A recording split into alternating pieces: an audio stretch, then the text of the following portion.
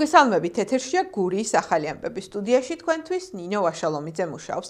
სტიქიდან მეორე დღეს გურიის რეგიონში სალიკვიდაციო სამუშაოები აქტიურად მიმდინარეობს. განსაკუთრებით პრობლემატური რჩება ლანჩხუთის მუნიციპალიტეტის სოფლების, ქვემო მამათისა და ხორეცის ხიდები. სოფლებში ინფრასტრუქტურის აღდგენა უამინდობის გამო ჯერჯერობით ვერ ხერხდება და 150-მდე ოჯახი კვლავ გარე სამყაროსაა მოწყვეტილი. ხიდი გვეწაღებულია 1 2 ამ დილას რეში მივიდიოდი, კევედი, აქით მივედი, არ იყო, იქით მივედი, არ იყო. მესამე ხიდთან მივედი, ვერც იქით მივედი, უბრუნდი სახში. რამდენი ოჯახი ხართ ასე გარესამყაროს მოწყვეტილები ახლა? ახალი კია 40 ოჯახი. აგერ ახლა ორნერსობალი მყავს, დეგერატებს, გამე შავი მანქანა რომ აიქი. ეს შვავია, იქორი წამევიდა. აგერ შეიძლება ახალიდან წამევიდა, წამევიდა და გზაზია. აჰა. ანუ ძიმერა. ახლა დაგერმა, ამისთან თელ მამას ყველგან დასრულებულია, სადაც გეიხედა და მეიხედა. ამ თელ დღეში ვარ. მოწყატილი ხარ ხო გარესა? მოყოლ, მოწყატილი ვარ. არც ოზურგეთი, არც ლანჩხუთი და ძალიან გთხოვთ. ჩვენგან გმეს ამოდგეს ხაში თუ კი რამე შეგიძლიათ და ხიდი აღვაგდენი. მე არაფერს არ ვთქვი. ხელისუფლების განცხადებით ხიდების აღდგენა ამიდის გაუნჯობესებისთანავე დაიწყება. გურიის რეგიონის სამივე მუნიციპალიტეტში აქტიურად მიმდინარეობს სტიქიის შედეგების სალიკვიდაციო სამუშაოები, მიმდინარეობს შიდა გზების გაწმენდითი სამუშაოები, ასევე მობილიზებულია ყველა შესაბამისი სამსახური. მუშაობას განვაგრძობთ საგანგებო რეჟიმში, მოქმედებს ცხელი ხაზი როგორც მუნიციპალიტეტებში, ასევე რწმუნებულის ადმინისტრაციაში. ელექტროენერგია ყველა სოფელს და ყველა აბონენტს მიეწოდება. რაც შეეხება გაზმომარაგებას, არსებობს ცალკეული ხარვეზები, რომელთა აღმოფხვისთვისაც აქტიურ რეჟიმში მუშაობს სოკარგაზის თანამშრომლები. რათა რაც შეიძლება მოკლე პერიოდში მოხდეს გაზმომარაგების აღდგენა და მიწოდება ჩვენი მოსახლეობისათვის. დაზიანებულ დროებით სახიდე გადასასვლელებთან დაკავშირებით როგორც კი ამინდი მოგცემს ამის შესაძლებლობას მაქსიმალურად მოკლევადებში მოხდება ამ სახიდე გადასასვლელების აღდგენა. ოზურგეთის მუნიციპალიტეტში აქტიურად მიმდინარეობს სალიკვიდაციო სამუშაოები. გუშინ დაახლოებით 200-ზე მეტ ოჯახიდან მოხდა წყლის ამოტუბმა. ამ დრომდე თუ კიდე საჭიროება გახდა სამაშველო სამსახური აქტიურად არის ჩართული პროცესებში. სამწუხაროა რომ ოზურგეთის ჩასაფრებული ადამიანები ცდილობენ ისევ შეცდომაში შეიყვანონ საზოგადოება. რაც შეეხება ელექტროენერგიის კუთხით აღდგენილია ყველა ლოკაციაზე გაზის მიმართულებით, სადაც ხდებოდა სტიქიდან დაზიანებული იყო, ისევ გრძელდება სამუშაოები, ოღონდ დარჩენილია ძალიან მცირე მონაკვეთები. პრეზიდენტის იმპიჩმენტის პროცედურა საკონსტიტუციო სასამართლოში დღეს მთელი დღის განმავლობაში მიმდინარეობდა.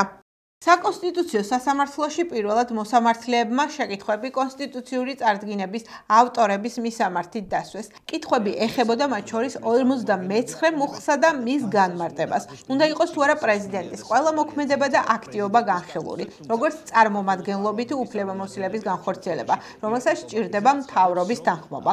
ასევე როგორ გაგრძელდება პროცესი საკონსტიტუციო სასამართლოს გადაწყვეტილების შემდეგ.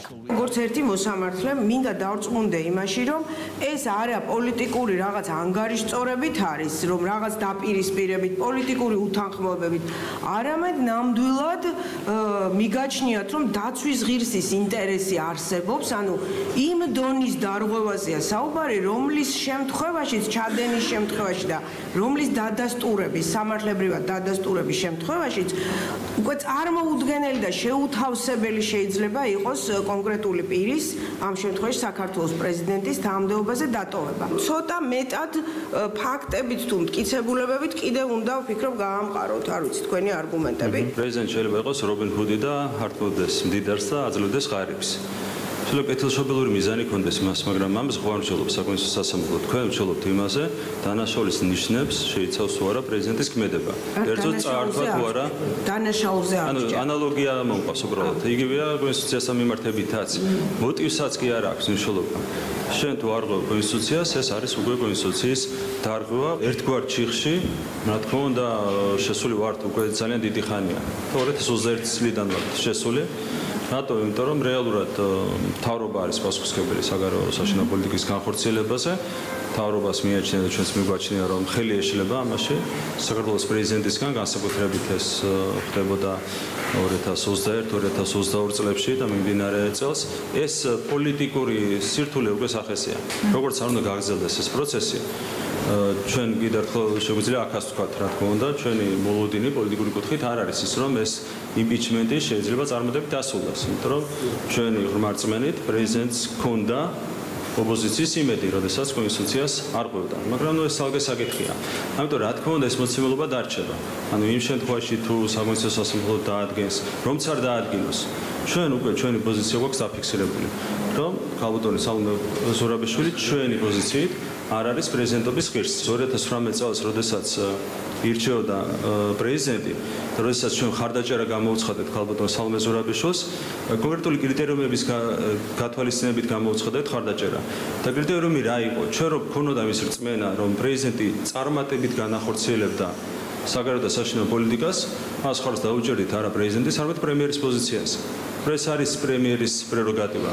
მაგრამ ხარ იმიტომ რომ იმიტომ დაუჭირეთ პრეზიდენტის პოზიციაზე, რომ მას ჰქონდა შეზღუდული მანდატი და თავი კრიტერიუმები საჯაროდაც იყო ნათქვამი, ის იყო დიასპორის წარმომადგენელი შთამომავალი დიდი წინაპრების რომ მას ჰქონდა რაღაც ევროპული ცხოვრებისეული გამოცდილება და ეს შემდეგ კამათი პარლამენტში დეპუტატებმა შეკრებასა და манифестაციასთან დაკავშირებით ახალ საკანონმდებლო ცვლილებაზე პირველი მოსმენით იმსჯელეს.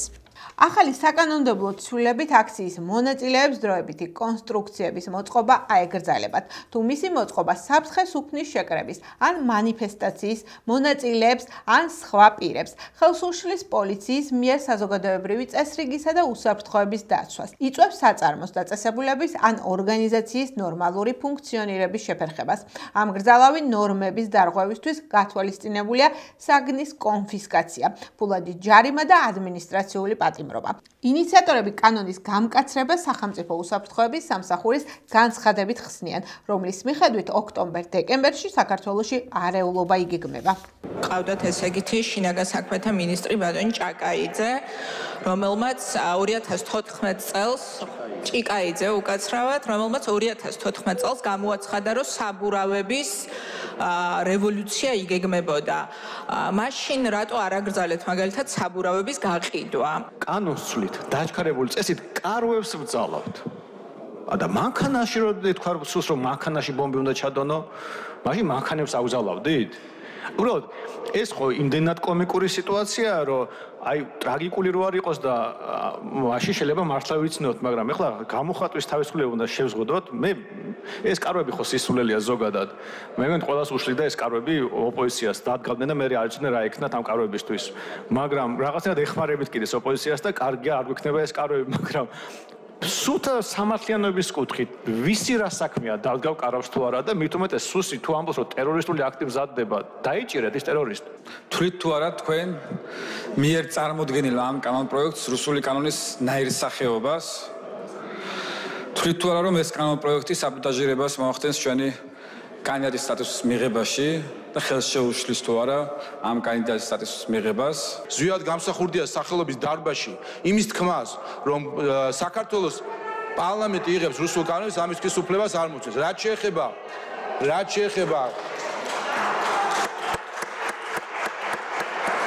ამ ეს პროპაგანდა აღარასდროს აღარ გაგივათ. არავის არ გავა არც ქართულ, არც არც უცხოელ აქტორს ეს პროპაგანდა არავის აღარასდროს არ გაგივათ, რომ ქართულ კანონს, ქართულ პარლამენტს დაარქვათ რუსული კანონი, რუსული პარლამენტი ამით შეურაცხყოფა მიაყენებდა თავს დაესხათ ქართულ ხალხს, მის არჩეულ წარმომადგენლებს და ქართულ დემოკრატიას. კანონი, რომელშიც ახლა თქვენ ცვლილებას გვთავაზობთ, საზოგადოებამ უნდა იცოდეს, რომ ეს არის საბჭოთა საქართველოსში მიღებული 1984 წელს მიღებული კანონი. და რა დემოკრატიაზე და რა სტრასბურგის სტანდარტებზე გვესაუბრებით, როდეს როდესაც კომუნისტურ კანონს ვდილობთ ახლა მიაშენოთ რაღაცები. ოქტომბერ-დეკემბერში რევოლუციას ველოდებით და კარვებს ვგზავნავთ.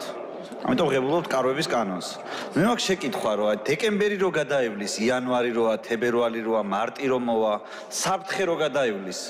აი ეს კანონი ხო შეგრჩება მიღებული. გავიხსენოთ ნაციონალ მოძრაობის მართლობის ბოლო წლების აც მიიღეს ესეთი ცვლილება, სწორედ გახშირებული მიტინგების და აქციების გამო, რომ საჯაროს შენობებთან, სამთავრობო შენობებთან ადრე თუ შეიძლებოდა 20 მეტრზე მეტად არ შეიძლებოდა მიახლოება 50 მეტრამდე გაზარდეს ეს დისტანცია. და პანტაპუნტით იჭერდნენ მე აქტივისტებს, მაგრამ საერთო ჯამში ამან არ უშველა. ხო არ უშველა, აგერა ოპოზიციაში ზღედან ეს ხალხი არ არიან ხელისუფლებაში და კითხეთ, რამდენად უშველა ასეთმა ძალისხმევამ. ზუსტად იგივეა ეხა თქვენ რისი ცვლილებაც გინდა. სუსის ბოდვის გამოყენება, როგორც საფუძველი. მნიშვნელოვანი კონსტიტუციური უფლების დარღვევისთვის არის უკანონო. და თქვენ რასაც გვთავაზობთ დღეს არის მორიგი თავდასხმა არა მხოლოდ საქართველოს კონსტიტუციაზე, არამედ ასევე საქართველოს ევროპულ მისწრაფებებზე. ესეთი სახელმწიფო უსაფრთხოების სამსახურის განცხადებები, რომელსაც ხალბატონი ვაკუჩავა ბოდვას უწოდებს, სწორედ ასეთ განცხადებების შემდგომ მოხდა, მე უბრალოდ შევახსენებ იმ სამხედრო უკრაინელების დაკავება, რომელიც კვილებამდე შეერაღებულები ბრძანდებოდნენ საქართველოსში და რა მიზნები ჰქონდათ მათ ეს კარგად მოიხსენება ჩვენ საზოგადოებას.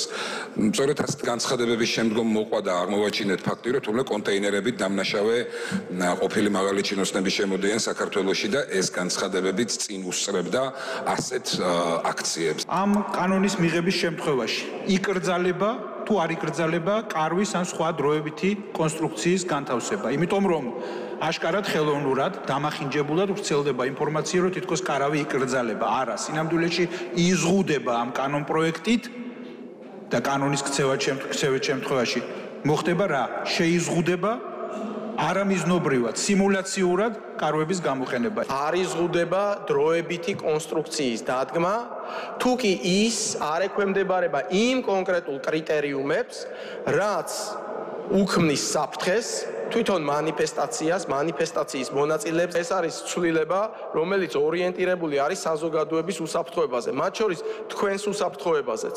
ამიტომ მაქსიმალურად პასუხისმგებლობით ვეკიდებით და არა იმ ირონიის ფონზე, რომლითაც გსურთ რომ კონტექსში არ შემოხვიდეთ საკითხის განხილვის, არამედ შემოხვიდეთ გარკვეულწილად განცხადებებს, რომლის უკანაც არანაირი არგუმენტები არ დგას. ღვინის დღეები საქართველოში წელს მეორედ 7-დან 15 ოქტომბრამდე გამართება. გურია ოზურგეთი კი ფესტივალს 11 ოქტომბერს უმასპინძლებს. ფესტივალზე ღვინის დეგუსტაციასთან ერთად ღონისძიების სტუმრებს სომელიები მასტერკლასებს ჩაუტარებენ. ასევე მოხდება მოწვეული შებზარეულის რუსო დაუშვილის კერძების დეგუსტაცია. ღვინით ხატვა, ექსკურსიები ოზურგეთის მარნებში, ტურისტებსა და ადგილობრივებს ფესტივალის მრავალფეროვანი პროგრამის ფარგლებში გალა კონცერტი და და სხვადასხვა აქტივობები ელოდებათ. ფესტივალი 23 მუნიციპალიტეტს მოიცავს.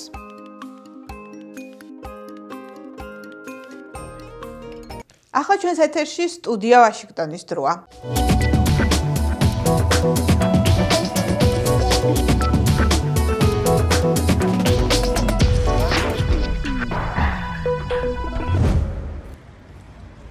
ნამსხვრევებით სავსე გზებზე გაჭედილი მანქანები, დაზიანებული ელექტროქსელი, მრავალსართულიანი შენობები, რომლებიც დაინგრა. რუსეთის ომმა უკრაინას დიდი ზიანი მიაყენა. გრევის აღდგენას სოფლიო ბანკის მიერ მარტში გამოქვეყნებული შეფასებით 400 მილიარდ დოლარზე მეტი დასჭირდება. 7 თვის შემდეგ ეს რიცხვი სავარაუდოდ უფრო მაღალია ომის მიმდინარეობის ფონზე. უკრაინის ხელისუფლებას სურს, რომ აღდგენისთვის გამოყენებული იქნას რუსეთისთვის ჩამორთმეული აქტივები, რომელთა რაოდენობაც 350 მილიარდია. უკრაინის პრეზიდენტი ვოლოდიმირ ზელენსკი ამბობს, რომ ეს რუსეთს საფასურს გადაახტევინებს. როდესაც ტერორისტული სახელმწიფო ფულს კარგავს იმ რუსებთან ერთად, რომლებთან თანამშრომლობითაც კრემლს რუსეთის აგრესიისთვის საშუალება მიეცა, ან ვისაც რუსეთის კორუმპირებული ჩინოვნიკები ხელსაფარებდნენ, მნიშვნელოვანს მივაღწევთ. ისინი დაინახავენ თუ როგორია დანაკარგები. важливо мета вони відчують, що таке втрата. მაგრამ ამ ფულის განაწილება პრობლემურია, რადგან მიუხედავად მათი გაყინვისა, ფინანსები მოსკოვის საკუთრებაა. ყოფილი ამერიკელი დიპლომატი ფილიპ ზელიკოვი ახლა ვირჯინიის უნივერსიტეტის პროფესორია. არსებობს რუსეთის საკუთრების პატივისცემის ვალდებულება სანქციების ფონზე ამ აქტივების გამოყენება საერთაშორისო კანონის დარღვევაა. მაგრამ ზელიკოვი ამბობს, რომ აქტივების ჩამოსართმევად რუსეთის მიერ საერთაშორისო სამართლის დარღვევის საფუძველზე შესაძლებელია სასამართლო საქმე აღიძრას. ამიტომ თქვენ უნდა თქვათ, დიახ, ჩვენ გვაქვს უფლება დავარღვიოთ საერთაშორისო სამართალი, რადგან რუსეთი აქამდე თავად არღვევდა საერთაშორისო სამართალს. რუსეთის ხელისუფლებამ არაერთხელ განაცხადა, რომ ქონების ჩამორთმევის შემთხვევაში ის საერთაშორისო სასამართლოს მიმართავს და დასავლეთის ქვეყნებს სამართალდარღვევისთვის უჩივლებს. მაგრამ ჯულია ზისკინა პროუკრაინული ორგანიზაციის რაზომ იურიდიული მრჩეველი ამბობს, რომ რუსეთის ამ დავაში გამარჯვების შანსი მცირეა. უფრო დიდი კითხვაა, იქნება თუ არა ეს სარჩელი წარმატებული და შეუძლია თუ არა რუსეთს ამ საქმის მოგება და ამაზე პასუხია ან არა, ან ის რომ ეს თითქმის წარმოუდგენელია. სხვადასხვა შეფასებით გაყინული რუსული აქტივების უდიდესი ნაწილი დაახლოებით 220 მილიარდი დოლარი ევროკავშირში ინახება. ერთ-ერთი ინიციატივა ამ აქტივებიდან მიღებული პროცენტული სარგებელის პირდაპირ უკრაინაში გაგზავნაა. ეს წინადადება არადამაკმაყოფილებელია, რადგან ეს იქნება მხოლოდ 3 მილიარდი დოლარი წელიწადში. ეს ნიშნავს, რომ უკრაინის აღდგენას 124 წელი დასჭირდება, ძალიან კონსერვატიული შეფასებით. შეერთებულ შტატებს კი 58 მილიარდი დოლარის რუსული აქტივები აქვს გაყინული. ივნისში ამერიკის კონგრესის წევრებმა წარადგინეს ეგრეთ წოდებული რეპო აქტი, რომელიც ამ აქტივების უკრაინის დასახმარებლად გამოყენებას ითვალისწინებს. ოლექსი კოვალენკო, ანი ჩხიკვაძე, ამერიკის ხმა.